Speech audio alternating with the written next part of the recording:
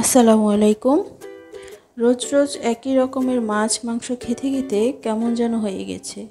তো আজকে আমি কচু শাক ভাজি করছি আর এটাই একটু ভিডিও করে আপনাদের সাথে শেয়ার করার চেষ্টা করছি।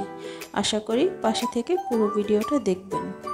কচু শাককে আমি লবণ দিয়ে ঢাকনা দিয়ে কিছুক্ষণ ভাপানোর পর এখন আমি দিয়ে দিলাম কাঁচামরিচ, পেঁয়াজ কুচি আর গোটা কয়েকটা রসুন কেটে দিয়ে দিলাম।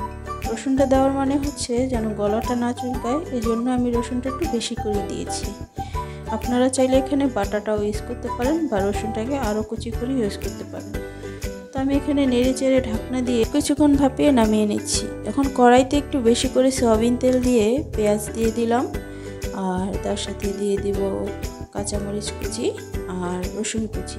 আমি রসুনটা একটু বেশি করেই দিলাম, কারণ গলা চুলকানোর একটা ভয় থেকে যায়, সেজন্যই আপনারা চাইলে আবারও বলছি, বাটাটা ইউজ করতে পারেন। আর এখানে আমি পেঁয়াজ, কাঁচামরিচ, রসুনগুলোকে ভালো করে ভেজে নেব।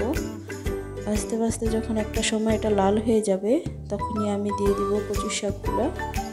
ভাপানো কচু শাকগুলো দিয়ে ভালো করে নেড়ে চেড়ে মিশিয়ে নেব। এই শাকটাকে ঘন ঘন নাড়তে হবে। ভালো করে নেড়ে চেড়ে নিলে শাকটাও মিহি হবে। খেতেও ভালো লাগবে। আর আমি এই শাকটাতে একটু তেলটা বেশি দিলাম। তেলটা বেশি দিলে শাকটাও ভালো আসে। আপনারা চাইলে ভাজি করার পরে তেলটা আলাদা করে নিতে পারেন, যেটা আমিও পরের বার করেছি। এখন ঘন ঘন এটা নাড়তে নাড়তে যখন একটা সময় শুকিয়ে আসবে, আর দেখুন কালারটাও চেঞ্জ হয়ে আসছে, আর আমার কচুর শাকটাও হয়ে গেছে। এই শাকটাকে আপনারা গরম ভাতের সাথে বাতাবি লেবু বা যে কোনো লেবু দিয়ে পরিবেশন করতে পারেন। আর আমার করা ভিডিওগুলো যদি আপনাদের ভালো লাগে, তাহলে কমেন্ট করে জানাবেন আর পাশে থাকবেন, সাবস্ক্রাইব করবেন। ধন্যবাদ।